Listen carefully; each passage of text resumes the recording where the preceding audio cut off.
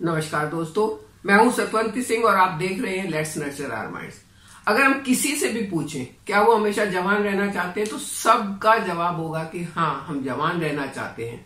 जवान कैसे रहना चाहते हैं? बायोलॉजिकल एज की मैं बात नहीं कर रही हूँ, वो तो बढ़ेगी। कैलेंडर के पेज तो पलटते जाएँगे पलटते जाएँगे। लेकिन मैं बात कर रही हूँ उस एज की जिसमें आप हमेशा एक्टिव रहें, जिसमें आपकी पावर कम नहीं हो, जिसमें आपका स्टेमिना कम नहीं हो। क्या आप ऐसे रहना चाहते हैं? ज़रूर चाहते होंगे। और उसके लिए हमें थोड़ी सी मेहनत करनी पड़ती है।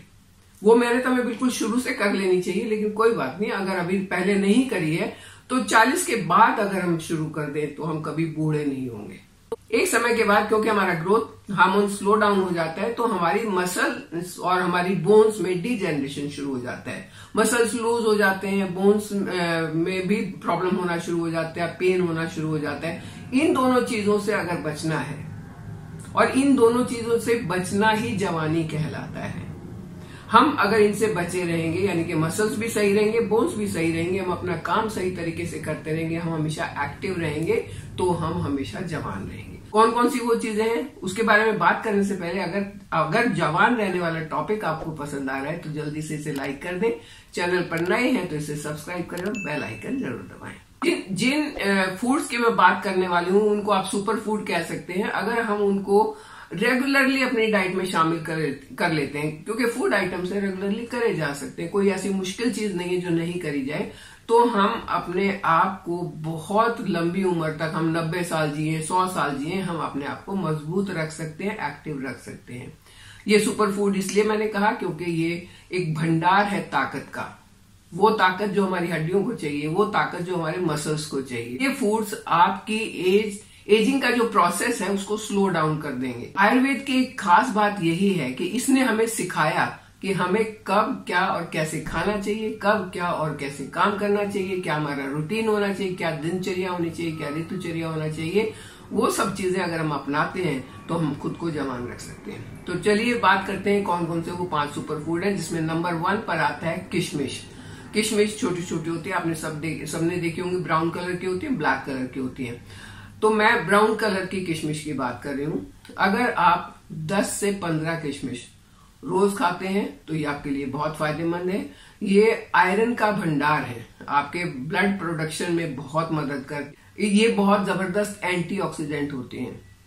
ये बड़ा पावरफुल एंटीऑक्सीडेंट है तो आपकी बॉडी को टॉक्सिन फ्री भी रखेंगी। इसमें विटामिन ए काफ़ी मात्रा में होता है तो ये आपके आँखों को भी सही रखेगी। इसमें पोटेशियम बहुत होता है। तो ये आपके बीपी को सही रखेगा। इसमें कैल्शियम बहुत होता है तो ये आपकी बोन्स को सही रखेगा।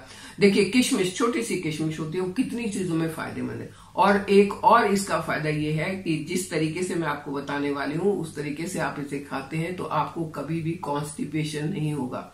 और आप जानते हैं ना कि कॉन्स्टिपेशन होना बहुत सारी बीमारियों का कारण बनता है, क्योंकि अगर आपकी गट हेल्थ सही नहीं है, आपका डाइजेशन सही नहीं है आपका जो आप खा रहे हैं, उसके न्यूट्रिशन एब्जॉर्प्शन सही नहीं है तो आपकी, आप जो है, आपकी हेल्थ अपने आप ही खराब होना शुरू हो जाएगी डिजेनरेशन शुरू हो जाएगा और बुढ़ापा जल्दी से आएगा।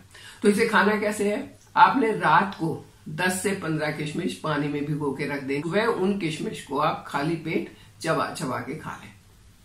किशमिश खाने के बाद वो पानी भी पी लें। बस हो गया आपका काम। जिसको क्रॉनिक कॉन्स्टिपेशन का प्रॉब्लम है, वो इसमें अगर एक अंजीर साथ में मिला लें तो उनको और भी ज़्यादा फ़ायदा होगा। तो नंबर वन पर आया किशमिश। नंबर टू पर है फ्लैक्स सीड्स फ्लैक्स सीड्स ये एंशियंट टाइम से चले आ रहे हैं, लेकिन इनके बारे में लोगों को ज़्यादा जानकारी अभी रिसेंटली हुई है। जब से इन इनका ये पता चला है कि वेट लॉस में बहुत मदद करते हैं तब से ये बहुत पॉपुलर हो गए और रियली रियली ये बहुत अच्छा सुपर फ़ूड है। इनमें प्रो, प्लांट प्रोटीन काफ़ी मात्रा में होता है तो आपके बॉडी में प्रोटीन की कमी नहीं होगी और प्रोटीन अगर आप सही मात्रा में खाते हैं तो हमारा प्रोटीन तो बिल्डिंग ब्लॉक है। तो हम अपने आप ताकतवर रहते हैं। इसमें फाइबर काफ़ी मात्रा में है तो ये आपको फुल काफ़ी लंबे समय तक रखेगा। इसमें गुड फैट है ओमेगा थ्री है इसमें। तो ये इंटरनली आपकी बॉडी को हीलिंग प्रॉपर्टीज़ देगा, आपकी बॉडी को अंदर से सही करेगा। चाहे वो स्किन की बात करें, चाहे वो बालों की बात करें, चाहे वो वेट लॉस की बात करें, हर चीज़ में फ्लैक्सीड आपको बहुत मदद करने वाले हैं। और फ्लैक्सीड को खाना कैसे है? फ्लैक्सीड का जो आउटर शेल है, वो थोड़ा सा हार्ड होता है डाइजेशन में। अगर उसको एज इट इज़ खाया तो डाइजेशन का प्रॉब्लम हो सकता है। तो इसके लिए आपने करना ये है कि सबसे ज़रूरी है उसको रोस्ट करना। हल्का सा रोस्ट करना है आपने।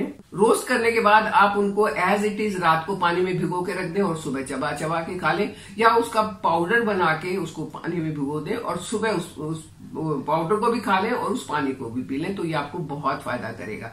हम सबकी बॉडी के अंदर कैंसर सेल्स आजकल सबके अंदर है क्योंकि हमारा एनवायरमेंट इतना पॉल्यूटेड है हमारा खाना इतना पॉल्यूटेड है हमारे खाने का तरीका इतना गलत है कि वो सेल्स सबके अंदर है। हम कब बीमार होते हैं? जब वो सेल्स एक्टिवेट हो जाए। और फ्लैक्स सीड्स की प्रॉपर्टी ऐसी होती है कि वो कैंसर सेल्स को एक्टिवेट नहीं होने देते, यानी कि आपको कैंसर से भी बचा सकते हैं। फ्लैक्स सीड की प्रॉपर्टीज़ हल्की सी गर्म होती है। तो जिनकी पित्त प्रवृत्ति है, वो ज़्यादा फ्लैक्सीड्स ना खाएँ। क्योंकि उससे गर्मी बढ़ेगी हीट बढ़ेगी। अगर उनको फ्लैक्सीड खाना है तो वो दही में खा सकते हैं। नंबर थ्री पर आता है आलमंड्स बादाम। बादाम के बारे में आपने सुना होगा। कहते हैं ना कि बच्चों को घिस घिस के बादाम चटाओ तो उनका दिमाग बहुत तेज हो जाता है वाक्य में। बादाम की बहुत अच्छी प्रॉपर्टीज़ होती हैं। इसमें वाइटामिन मिनरल्स गुड फैट भर भर के है। काफ़ी मात्रा में होता है। वो आपके लिए अच्छा भी होता है। अगर आप डेली पाँच से आठ बादाम रात को भिगो के रख दें, सुबह उसका छिलका उतार के, उसको चबा के खाएँ तो आपको बहुत फ़ायदा करेगा। और अगर आप किशमिश और बादाम का कॉम्बिनेशन करके खाएँ तो फिर तो इन दोनों का कॉम्बिनेशन आपके लिए बहुत ज़्यादा फ़ायदेमंद होगा। बादाम में इतने सारे विटामिन मिनरल्स और प्रोटीन होता है कि आपकी एडी से लेकर चोटी तक, यानी कि from your toe to head ये आपके हर चीज़ के लिए बहुत फ़ायदेमंद है। फोर पर आता है पॉपी सीड्स ये हेल्थ के लिए बहुत अच्छे होते हैं। उन लोगों के लिए खासकर बहुत अच्छे हैं, जिनको स्ट्रेस रहता है, जिनको एंग्जाइटी रहती है, जिनको डिप्रेशन का प्रॉब्लम है, उनके लिए पॉपी सीड बहुत अच्छे होते हैं। पॉपी सीड आपके वेट को कंट्रोल करने के लिए बहुत अच्छे होते हैं। जिन लोगों का डाइजेशन पुअर है मतलब खाते हैं, हजम नहीं होता है, खाते हैं कटी डकारें आती हैं, जलन होती है, ये होता है, वो होता है, उनके लिए तो पॉपी सीड बहुत ही ज़्यादा फ़ायदेमंद होते हैं और डाइजेशन को इम्प्रूव करते हैं। जिनको नींद नहीं आती है, उसके लिए बहुत अच्छे होते हैं। पॉपी सीड की एक खास बात यह है कि ये आपके डाइजेस्टिव फायर, जिसको जठर अग्नि कहते हैं, उसको इम्प्रूव करते हैं।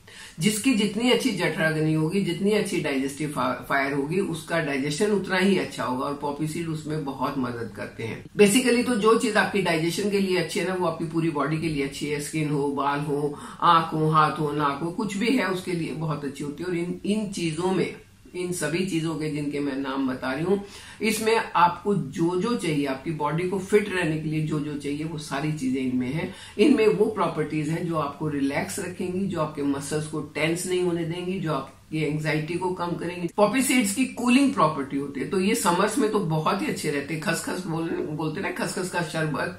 तो इसीलिए पिया जाता है वो खस का शरबत कि वो उसकी कूलिंग प्रॉपर्टी होती है। गर्मी से होने वाले नुकसान से भी हमें बचाते हैं। ये भी आपने एक से दो टेबल स्पून ही लेना है और रात को इसको पानी में भिगो के रखना है। सुबह इसको ग्राइंड ग्राइंडर में एक बार ब्लेंडर में डाल के घुमा दें और वो पानी आप पी लें तो बहुत फ़ायदा है। इसके बाद आता है मेथी दाना दाना मेथी। दाना मेथी मेथी दाना भी बोलते हैं। छोटा भी होता है, बड़ा भी होता है, कोई सा भी ले लें, जो आपको इजीली अवेलेबल है, वो आपके लिए फ़ायदेमंद है।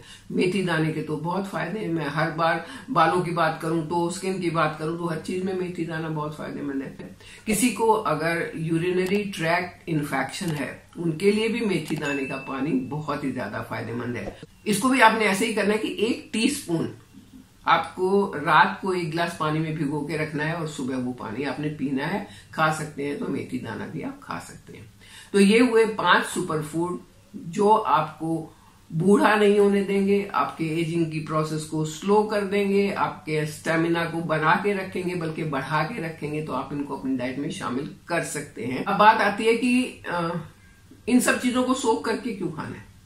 क्या हम ऐसे ही नहीं खा सकते? ये सवाल पूछेंगे सब लोग पूछेंगे।